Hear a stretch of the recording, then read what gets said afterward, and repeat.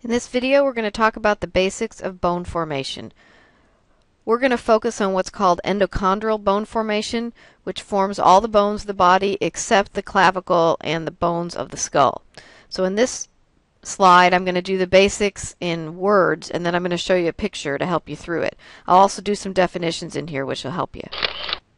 Alright, so endochondral bones, like I said, are most bones of the body except the clavicle and the bones of the skull. So what's going to happen is all bones have to have a framework, and the framework for endochondral bones is going to be hyaline cartilage. So a framework of the shape of the bone is going to form is going to form by hyaline cartilage. And then what's going to happen is you're going to get the development of the periosteum. Now what the periosteum is, it's it's the living tissue that surrounds the bone that actually supplies the bone that supplies the bone with its blood supply and its nerve supply. So the periosteum is going to develop early. And what it's going to do, it's going to supply the bone with osteoblasts. And osteoblasts, remember, are going to build bone.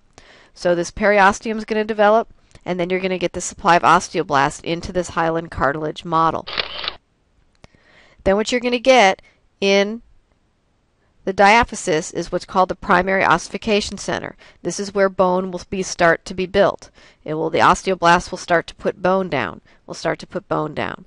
Now, in the long run, what will happen is that diaphysis will become hollow, forming the medullary canal or cavity uh, as bone formation continues. Now, what will happen is near birth, you will get what are called the secondary ossification centers, which occur at the epiphysis of either end of the bone. So, what will happen is you'll get blood supply in there, and they'll start applying bone, start putting down bone. When babies are born, the epiphysis of their bones are usually still cartilage, which doesn't matter because it's not like they're going to go walking around. So they're non-weight bearing, so that really doesn't matter. What you'll do then is you get what's called the epiphyseal growth plate, which will occur here at the ends of long bones. And this is how bones, through this area, this is where bones will continue to grow as the child gets older. Now when you're finished with growth, the epiphyseal growth plate closes, so it becomes bone. And again, I'll show you that on the next slide. All right, so let's review what we learned here. Here's your hyaline cartilage model. Let me change colors. Here's your hyaline cartilage model. Here's your hyaline cartilage model here. So here's our framework. Then what will happen, happen is you get that developing periosteum. And what will happen is you'll get a periosteum around here.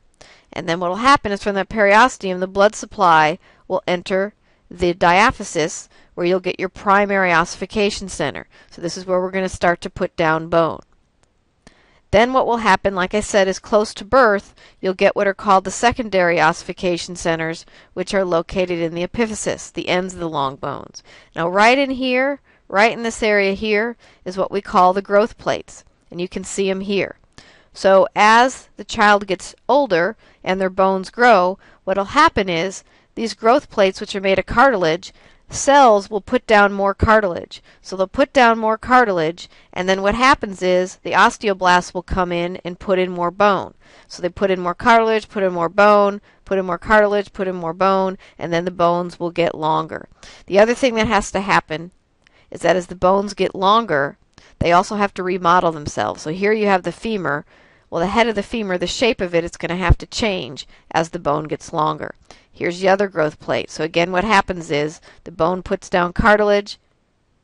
We grow cartilage. Bone follows the cartilage.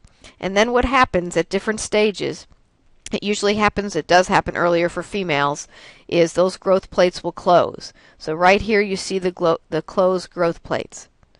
Now in females, they usually go through their growth spurts earlier in life due to hormones. So you'll see girls in 6th and 7th grade are usually taller than the boys because they have started their major growth spurt. About two years after a girl starts her period is when those growth plates are going to close. So estrogen, the primary sex hormone in females, actually stimulates growth initially, but then after it's been there for a couple years and they've gone through a cycle, then it actually causes the growth plates to close. In males, the growth spurts may not occur till later. And then what happens is the growth plates usually close later in males than in females. So it's not unusual for males to continue to get taller into their college years. So that's just the basics of bone formation. What you need to be familiar with is where the primary ossification center is. Sorry, where the primary ossification centers are, uh, where the secondary ossification centers are, the basics of a growth plate and the fact that it's cartilage, which is then replaced with bone, and so on. Okay, so that's the basics of bone formation. Now I briefly want to talk about how bones heal.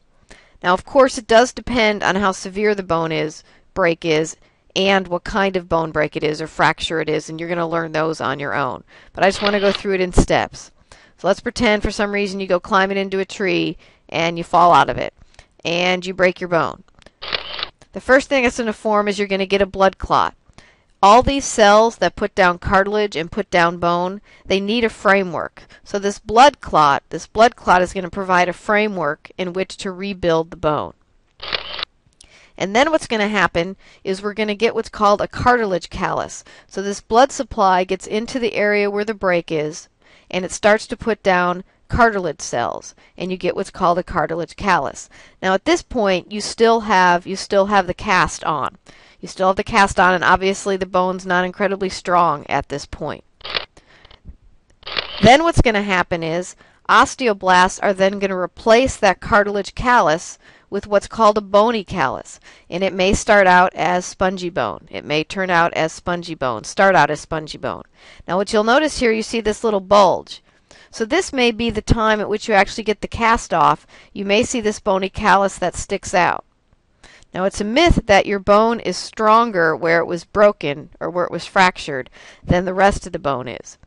When you get your cast off, it may actually be somewhat stronger than the rest of the bone. But in the long run, we don't want one part of the bone to be strong because if that part is strong, that makes the rest of the bone weaker. So what you'll see happen over seven or eight months, you'll get rid of that callus. So the bone again will become become compact bone on the outside, will become compact bone on the outside, and will look like the rest of the bone. There still may be a little remnants of the fracture. You may see a line. You may see a line in the x-ray. Again, this bone healing process does depend on the type of fracture. If the bone are not next to each other, if one end of the bone's here and the other end's here, obviously medicine's going to have to help put those fractures together to let the healing process occur with pins and those kind of things. So again, this just talks about the remodeling. Now I just want to show you a few x-rays. Um, a student gave me a CD once of a bunch of x-rays, so I'm going to share part of them with you. So what you should try now is to see how many of these bones that you can actually name. You're looking at the wrist here. Okay, you're looking at the wrist. Here's your radius. Here's your ulna. Here are your carpals. Here are your metacarpals, all in here, and then here are your phalanges. Obviously this joint is slightly dislocated. Oops, wrong way. And figure out where you are here. Here you're in your lower leg. Here's your tibia. Here's your fibula on the lateral side. Again, this type of fracture is going to need a little help to heal. You got to kind of place them back in so the healing process can occur. This shows you a hip replacement. Um, this is actually, here's your acetabulum. Here's what's mimicking the head of your femur. This is actually pounded into. It's a metal spike that's pounded into your femur. Here you can see the ischium. Here's the pubis bone here. So they replace the acetabulum with kind of a plastic, a medical plastic, and then they replace it with this. Right now, I think you're limited that you can have two hip replacements because there's only only so many times they can pound that spike into the diaphysis of your femur. Okay. This is scoliosis. Okay, this is scoliosis. It's a lateral, lateral curvature of the spine. And this is something not very bright to do. Um, I think this person did live. That's why we laugh at it. But you don't want to shoot a nail up through your skull. And the last one is one thing you should never wear when you're getting an x-ray done of your chest is you should never wear nipple rings. So a student somehow found this x-ray. Here, if you can't see them, are little nipple rings right in here. So you not, should not have metal on when you take give or you get an x-ray. Okay, that's the end of this video on basic bone formation.